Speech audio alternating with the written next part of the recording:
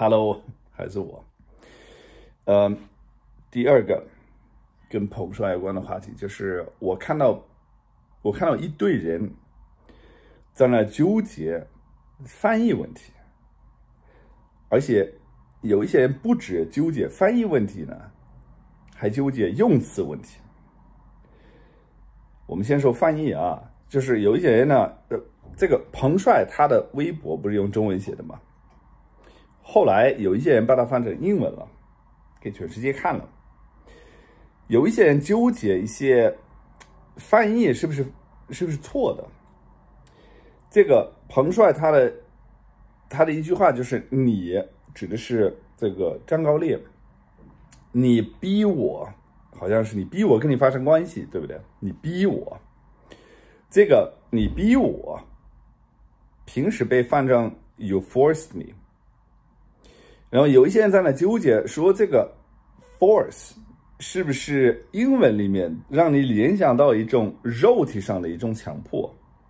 但是原话里面不一定是肉体上的，有可能是是一种精神上的一种一种强迫，对不对？可以说是。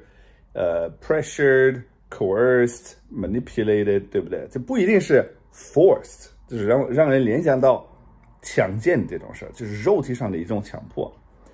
你现在在那纠结这些，后后面的还有一些人，他们在纠结这个彭帅他自己用词是不是不对，他应不应该用逼我，是不是应该用另外一一些话？这些我，我觉得一个一个健康的一个社会，他不会纠结这些，他不会，就是也也会有一些无赖的人在那纠结这些，那是肯定的。但是一个健康的社会呢，他会怎么做呢？首先，受害者或者是呃，我们 assume 他是受害者那个彭帅，他会是自由的，这是第一。他会有跟媒体对话或者说话的自由。第二，他会有出国的自由。第三，他的家人也会是安全的。第四，后面或许会有一种调查，警察调查呀，可能会会上法院啥。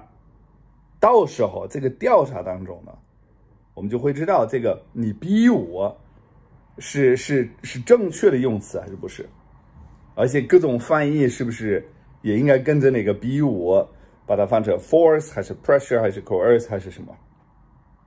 但是在一个不健康的社会，在中国那种社会呢，彭帅现在到处被，我不知道用中文这么说，就是被 paraded around，就是那些官媒让他在哪里出现，他在哪里出现的，让他在哪里笑一笑，他在哪里笑笑一笑，让他跟一群朋友吃饭。